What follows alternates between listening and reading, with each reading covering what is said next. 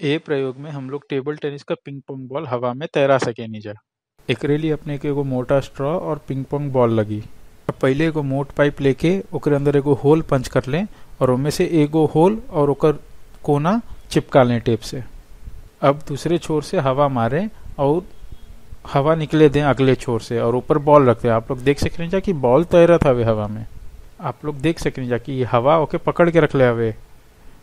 यही तरह आप लोग दूसर स्ट्रॉ भी लेके, हवा मार के बॉल के, हवा में तैरा सके नहीं जा लेकिन इनमें अगर आप लोग हवा मार छोड़ दें जा तो ये पिंग पोंग बॉल नीचे गिर जाए।